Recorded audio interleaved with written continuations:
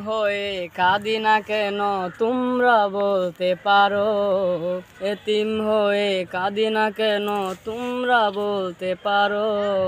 এতিম ছিলেন আমার নবী হরজত মোহাম্মদ। এতিম ছিলেন আমার নবী, এতিম আমিও। নেই বাবা মায় আমার, নেই যে বাড়ি ঘর। নেই বাবা মায় আমার নেই যে বাড়ি ঘর। তবু মনে নিয়ে সান্ত্বনা কাটাই দিন রাত। মনে নিয়ে সান্ত্বনা কাটাই দিন রাত। এতিম ছিলেন আমার নবী, এতিম আমিও। এতিম ছিলেন আমার নবী, এতিম আমিও।